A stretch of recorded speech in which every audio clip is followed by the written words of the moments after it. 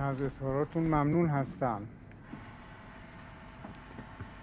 البته همتون از اعتقادات شخصی و هم از لحاظ مملکتداری من به دین مبین اسلام اطلاع دارید.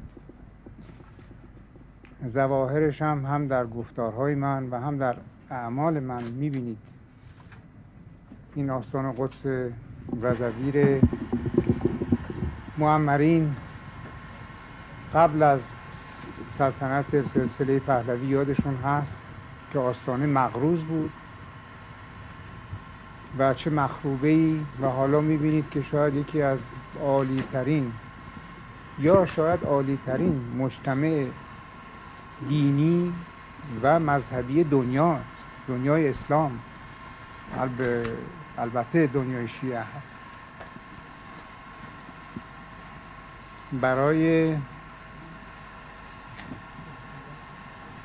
وظایف دیگر من که حفظ حفظ حدود و سقور و استقلال مملکته خود به خود مملکت را اگر ما حفظ کنیم هم از لحاظ استقلال هم حدود و سقور در اون مملکت ما می توانیم دینمونه معتقداتمونه مقدساتمونه حفظ بکنیم.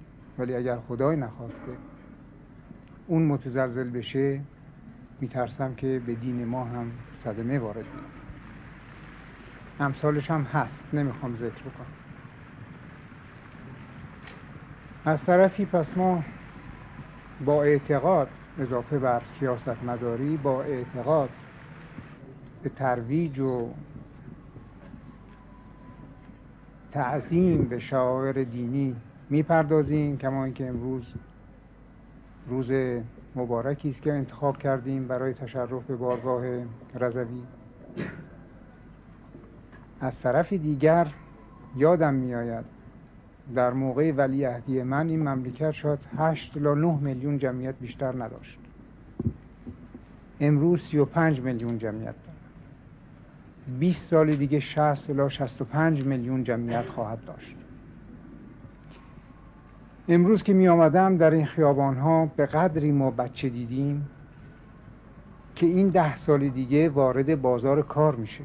این کار می‌خواد این شغل می‌خواد این نون می‌خواد. برای کار و شغلش ما نیروی محرکه برق می‌خوایم. برق باید تولید کرد. درست موقعی که جمعیت مملکت ما به تقریبا حد اکثرش می‌رسه 65 میلیون. درست موقعی است که نفت ما تمام میشه. از حالا تا اون موقع ما باید تمام نیروی جایگزین نفت بسازیم در این مملکت. جواب 65 میلیون دهان و شکم را چه شکلی باید داد؟ با ایجاد شغل با ایجاد کار و ایجاد برق.